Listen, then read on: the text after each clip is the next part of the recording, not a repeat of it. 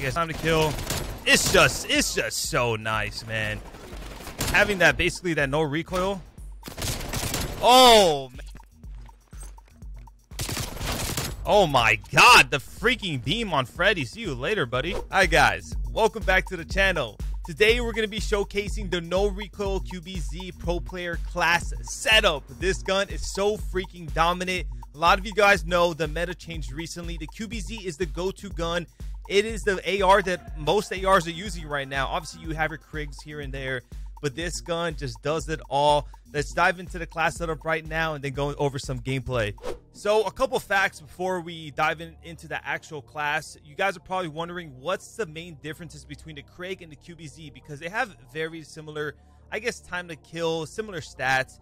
Well, first of all, other than the Krig can beam a little bit harder than, the QBZ, the QBZ has two really good things about it over the Krig. One, the time to kill is a little bit faster than the Krig. So obviously when you're playing against other Krigs or playing against SMGs, you have a little bit of a better chance to kill that player. And obviously, you know, as an AR role, you want to have an AR that can kind of compete with all the guns. XM4 did that very well, but it was a little overpowered. So the QBZ doesn't do it as good, but it's still really good. Another good thing about the QBZ, it's the pull-up time. It has, it's a little bit more mobile. It can pull up a little bit faster. The Krig, by pull-up time, I mean basically when you aim in, pull-up time, mid-sprint, sprint out time. So it's really good when you're trying to get a little mixy, kind of as a, a, flex player. So let's dive right into it. I am using the fresh powder variant. I don't even know how I got this. We got it somehow. Some of you guys probably have it too. So for the optic, I really like the Microflex on the QBZ. You can also use the Millstop.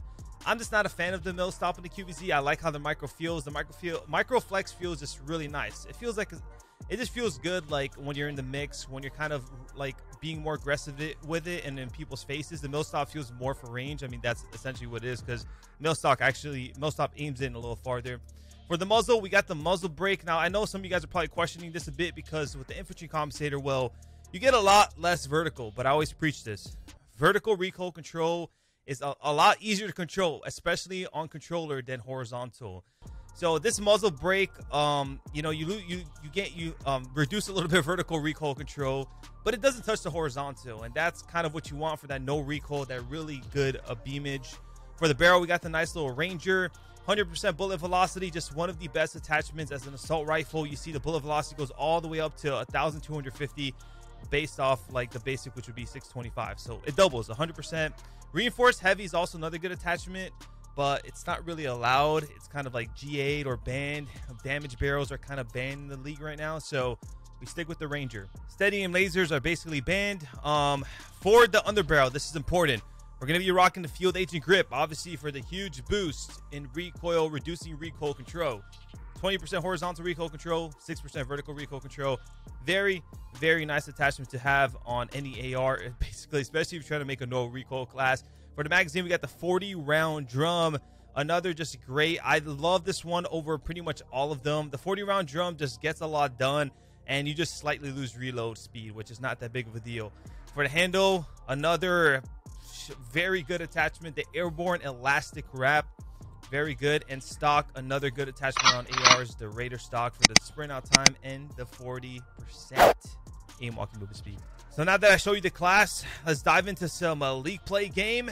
Let's do this. I'm gonna show you what the QBZ is made of, man. Guys, so we do got some Moscow hardpoint, rocking the QBZ, using my pistol to run out a little bit faster. Quick tip for you guys. Maybe push on Eskies here. Now I haven't really shot much, so this is gonna be. Let's see. Let's really test my, I guess, beaming capabilities. You see it right there, man. It's time to kill it's just it's just so nice, man. Having that basically that no recoil. Oh man, I'm just I'm just showing I'm popping off for you guys, man. That's the intro right there. That's like a nice little Oh! Oh, okay, six P, six reek. So obviously there's a lot of very good ARs, but the meta, the pro player meta, we try to balance things out. We try to make things pretty even and um, some of those ARs, for example, like the XM4 got banned, um, the FR. Some of these ARs are just not allowed because they are just simply too good and kind of what dominate the AR row. Example, AK-47. That thing has a four-shot kill range. It is basically a AK-74U on steroids. So that is not allowed at all. So there's other guns. For example, there's like about three, four ARs being allowed in use right now, which is a Krig. You have the nice little QBZ, and that was a good Kobe. So the QBZ is just fits really well in the current meta due to it being basically a slightly better Krig. Now, something about the QBZ that people seem to forget or kind of not really understand is that even though it has a little bit more recoil, it still shoots very straight. Dude, can I get some help? Help me, please. Look at that. I'm winning a lot of my gunfights, a lot of my 1v1s, a lot of a lot of the engagements I'm getting to, I'm winning them. Oh my god, the freaking beam on Freddy. See you later, buddy. And I'm dead. There's there's a spawn there.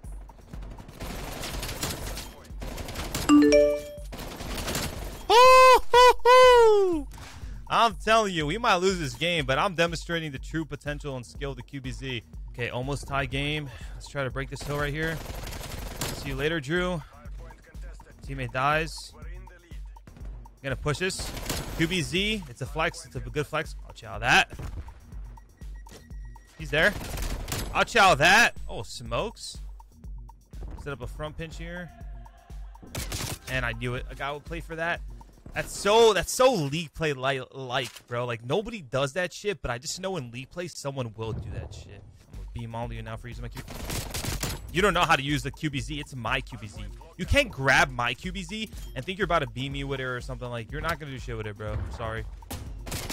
Like sit down. Be humble. Ah. Ah. Oh, damn. I saw him last second. Nice. Good trade, Shockify. Let's go. Good trade, buddy. And I know you, a lot of you guys are seeing pro players use this gun. Like, every team has one player using this gun right now. Like, the QBZ is just such a good and dominant gun to use in the current meta.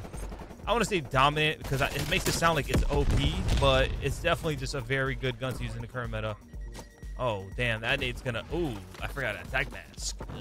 So I know some of you guys have been asking me in the comments, and I'm pretty sure it comes every now and then. You guys are probably wondering, what do I think about the current meta? Oh my god, that guy just flew across the screen. Uh, the current meta is definitely interesting as I pop a four piece. Um, I know it's weird with these guns and these different changes, and as I pop a six piece, but I think it's a little better. It's a little better better than what the meta was. A little bit more balanced, a little more fair, a little bit bigger of a skill gap. That's my honest thoughts about it. 46 and 16. I mean, I demonstrated the gun. I demonstrated the skill. Like this gun is, it's phenomenal. All right, guys, that's going to be it for today's video. The no recoil QBZ class setup. I hope you enjoyed. Make sure to leave a like, like, like, like, like, like, leave like, like, like, like, like, like, like, like the video. Seriously, though, it helps a lot. Comment down below whatever you want to comment down below. I'll try to respond to uh, most of the comments if I can. Hope you all have a wonderful day, and I'll catch you in the next video. It's a high chance it's going to be, by the way, a pro tip video. So you want to subscribe, bell on, all those stuff. Yeah. Okay, bye. Love you.